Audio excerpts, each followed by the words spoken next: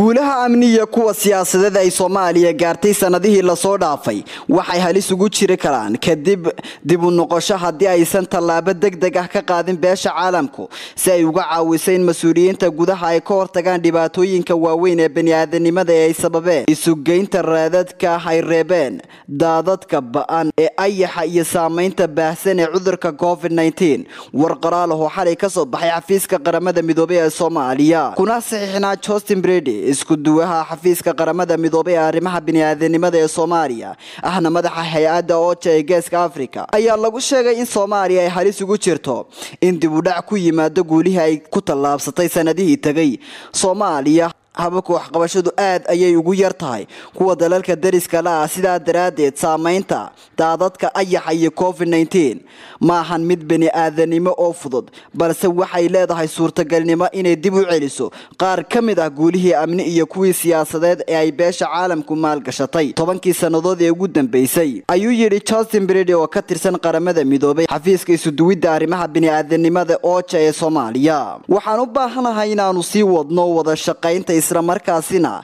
ballaadhino iskaashiga aanu la leenahay ganacsatada gaarka. Bulshada rayidka ah iyo inaan wada shaqayn dheeraad ah la yeelano qurbajoogta ayuu yidhi master bidi oo ah madaxa xafiiska ooja ee waddamada geeska africa ku dhowaad shan boqol oo dada ayaa ku barakacay fatahaadaha dhowaan ka dhacay gobollada dhexe ee soomaaliya. Xilli wadanka uu la tacaalayo ayax daran oo beeraha galay kaasi oo khatar ku ah amniga iyo nafaqada cuntada dadka badan isla waqti ay soomaaliya wax ka qabanaysa faafitaanka safmarka xanuunka covid master bedi ayaa sheegay in digniinta qaramada midoobey ay tixgelinayso daciifnimada qaabdhismeedka soomaaliya taasi oo ka dhigaysa dal ka mid ah kuwa ugu nugul waddamada kale ee gobolka wuxuuna ku baaqaya in cududa la isku geeyo si looga hortago waxa ugu xun. Cabdirashiid maxamuud maxamed star t v